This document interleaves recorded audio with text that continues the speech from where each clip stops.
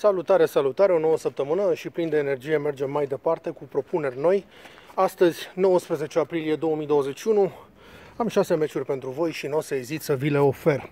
Like la acest video, subscribe la canal, setați-vă clopoțelul să chiar primiți toate notificările din partea mea și haideți să spunem. Începem cu Israel Premier League, unde Beitar Ierușalaim se duelează cu Bnei Yehuda, în meciul ăsta se întâmplă un mare PSFX, va fi pauză sau final egal, așa că notați-vă de grabă. Mergem apoi în Spania, la Liga 2, unde Almeria se duelează cu Aspaniol sau Espaniol, așa cum se scrie echipa asta. M-a frapat să aflu că se pronunță Aspaniol.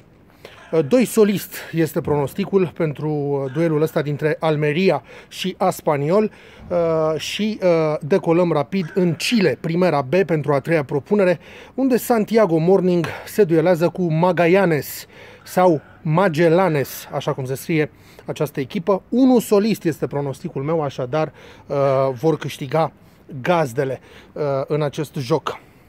După care mergem în Danemarca, Superliga, unde Rannes Uh, sau Randers se duelează cu Midviland sau Midtjylland. GG uh, este uh, pontul meu pentru acest duel. Ambele echipe vor marca în meciul dintre Randers și Midviland. Apoi, apoi decolăm de asemenea spre Elveția Challenge League, unde, unde Winterthur joacă cu Thun. Uh, sau Winter Tour, uh, joacă cu Tun, TH, uh, îi găsiți rapid pe aplicații. Doi solisti este propunerea din partea mea, așadar vor câștiga oaspeții, vor câștiga cei de la Tun.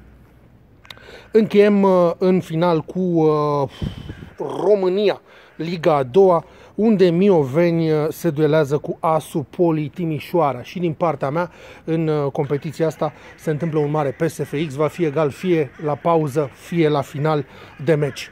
Uh, mai, mai concis astăzi, nu o să mai stau să mai uh, istorisesc uh, îndelungul și de alatul situațiunilor. Vă aștept și pe grupul privat. Uh, aveți toate detaliile în descrierea fiecărui clip de aici, de pe canalul meu de YouTube. Uh, să fie cu noroc și ne auzim uh, în zilele următoare.